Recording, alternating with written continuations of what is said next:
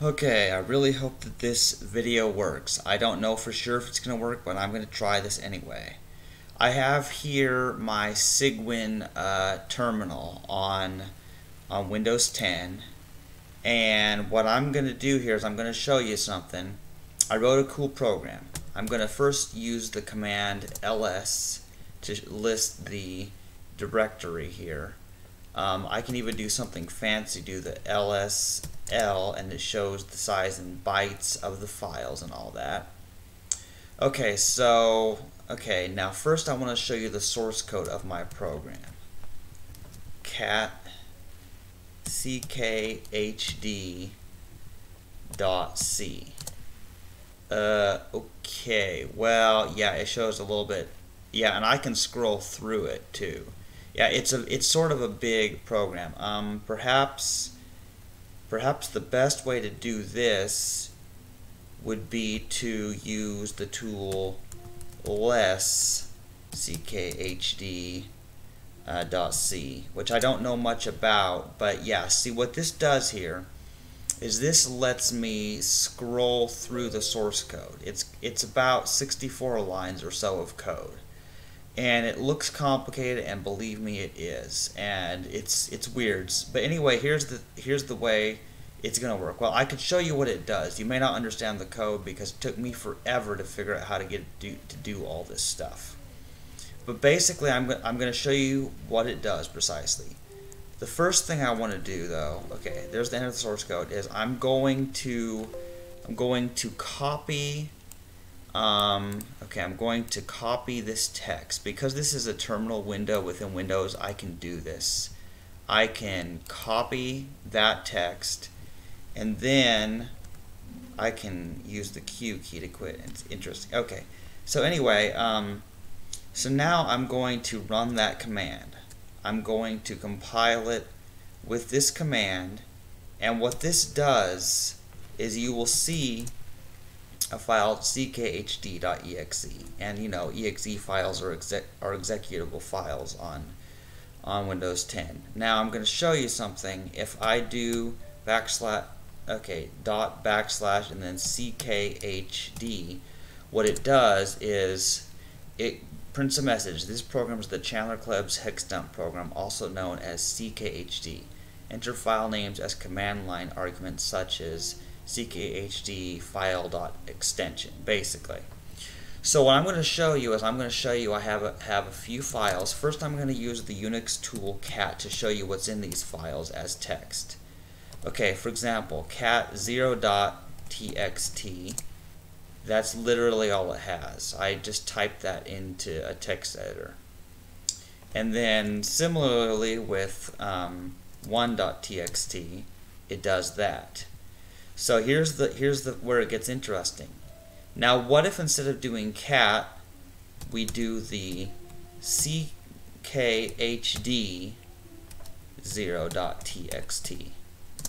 And that, my friends, is what it does precisely it basically makes a hex dump of the um, of all the bytes in the file and there's a variety of cool things like that so that's what it does and similarly it will do it with 1.txt so they're text files but I can read them also as as as a hex dump.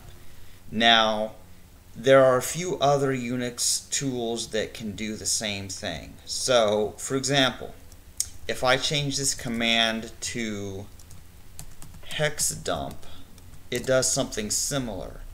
But you'll notice something. It groups the bytes as groups of two bytes, and I cannot figure out how to change that. So um, what I did is I wrote the, my own program to do the same thing.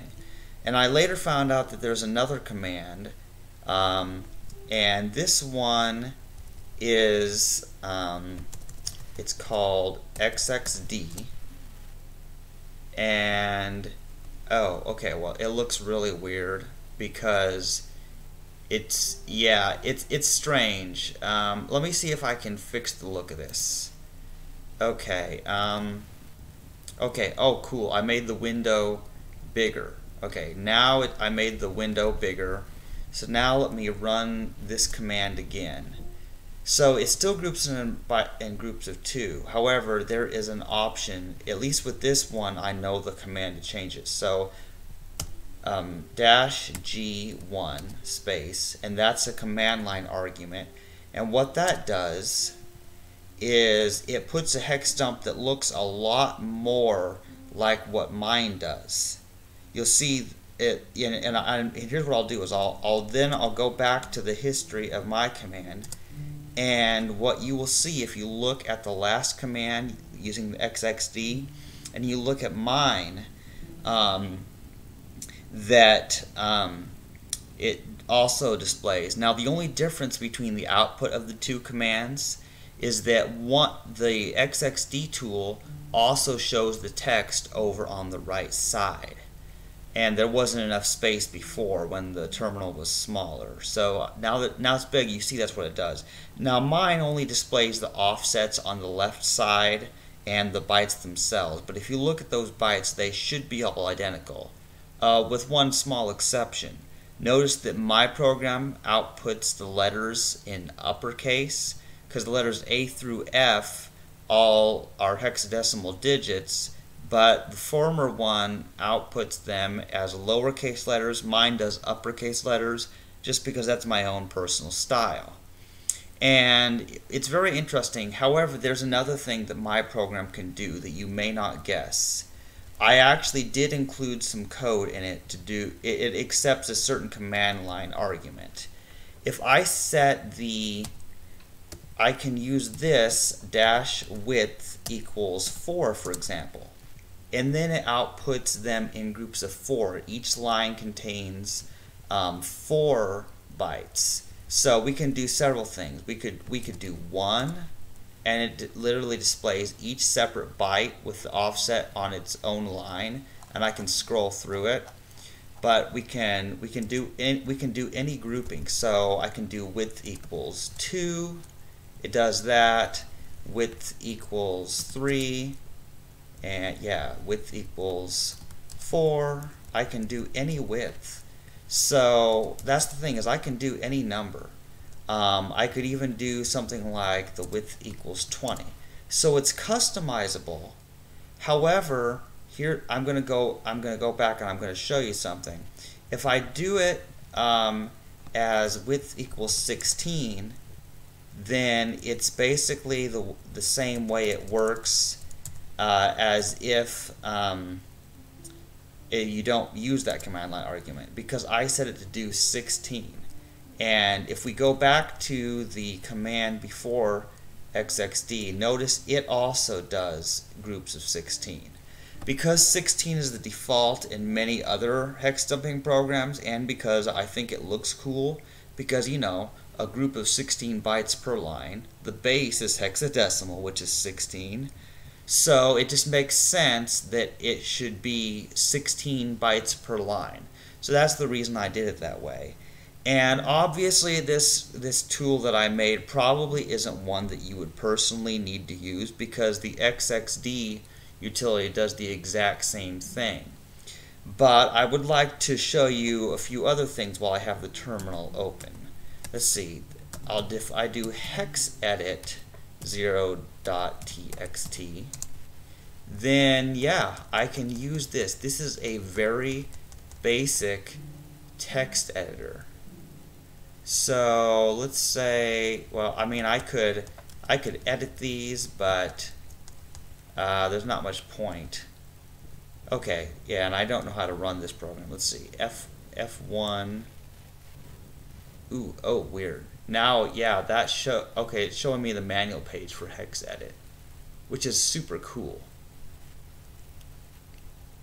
Yeah, that's that's nice. But yeah, it's a command line hex editor, and oh, it has keyboard shortcuts. So yeah, there is a hex editor that actually works within a command line type of environment and would use if you were on a Unix system with no graphical user interface. Um, yeah, that's cool. There's all, oh, it even has cop, copy and paste commands. Okay, yeah, well that's cool. Anyway, that's that's not really all that important. Um, wait. Okay, I forgot. How do I exit this program again? I need to uh, exit without saving. Okay, that's right. Um, control C.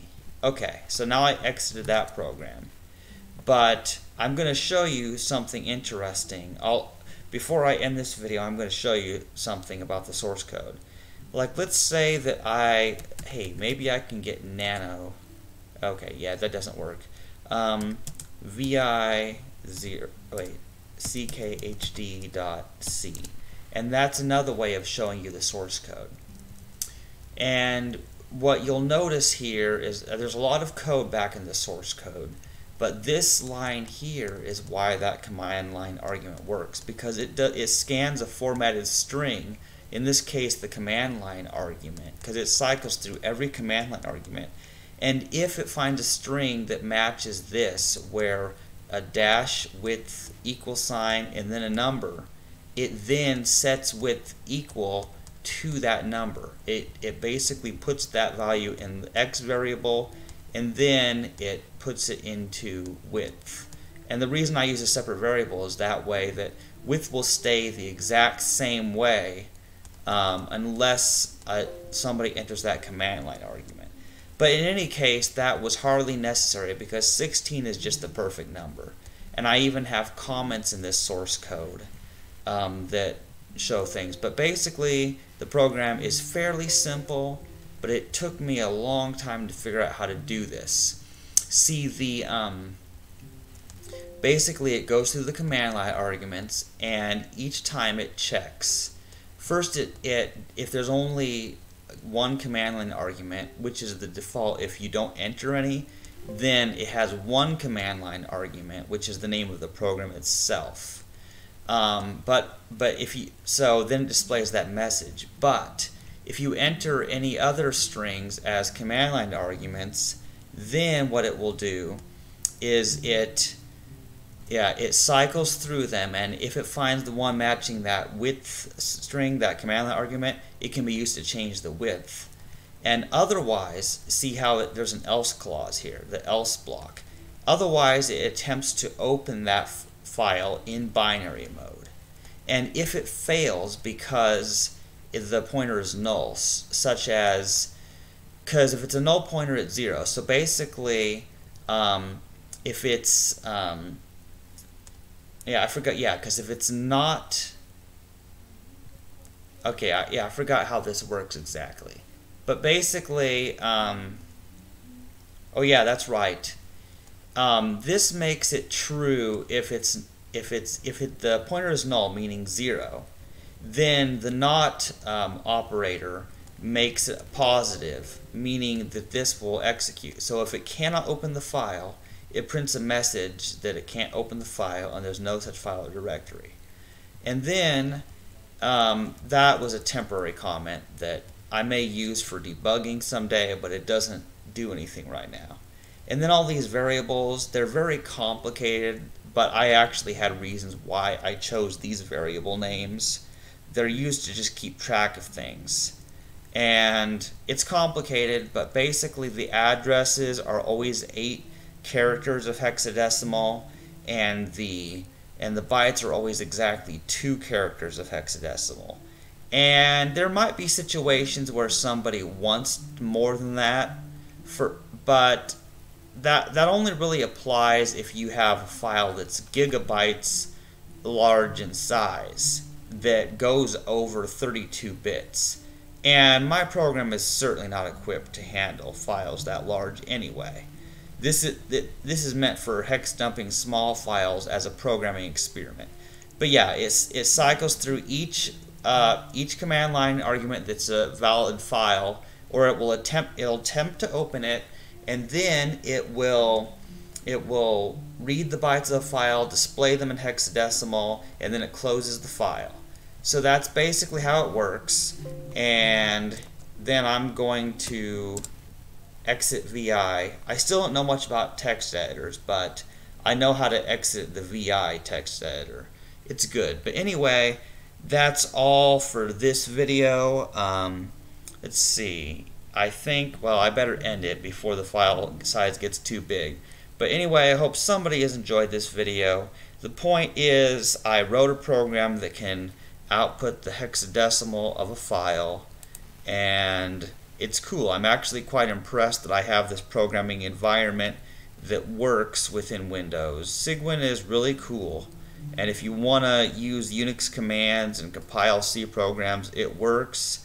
But I had to work a little bit just to figure out. The installer is not too tough, but that's basically what I'm using um, to do all this. So I have the C compiler GCC, and all my C programs work. I could also compile C++ programs, but I don't like C++ as much as C. I like C because there's less to know because it's a smaller, older language. Anyway, enough of my rant. Um, I hope that somebody else got something useful out of this. And beyond that, I'm just happy that I got a program to successfully work. Bye.